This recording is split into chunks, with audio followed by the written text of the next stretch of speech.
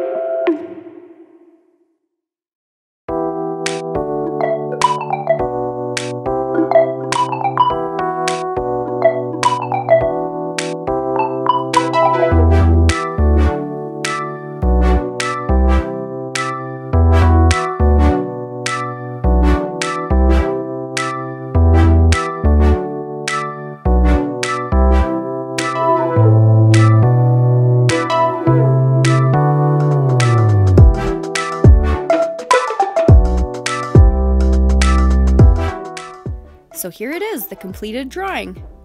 So I framed up a print of this one to drop off, and here it is wrapped up in some plastic so that it's protected from the elements. It is still winter out here, and it is so cold and windy today. Okay, not cold, just windy, and the wind made it feel. Bleh. Since this drawing is kind of, I feel like maybe better suited to somebody who is single, even though it's kind of like a Valentine's Day theme in my head, um, I decided to bring it to the university um, because I felt like there might be a higher concentration of single people there compared to maybe a lot of other places. At first, I dropped it off in the middle of a really pretty courtyard, and I noticed that there was these red dresses hanging in trees, and I didn't really know what that meant. So I left my art there, but once I got back to my truck, my mom and husband actually let me know that the purpose of those dresses is to honor Canada's missing and murdered Aboriginal women. And so I thought about it and figured I should probably move my drawing. I would never want to disrespect that in any way, so I figured it was just a much better idea to take it and place it somewhere else. So here I am, picking it back up, and here's where I decided to leave it at actually what I think is a residence. And so maybe it's actually a better place for it, anyways. And that's it, another one in the books. I hope you enjoyed this video and I'd love it if you would like it and subscribe to my channel. That would be amazing. Thank you so much for watching.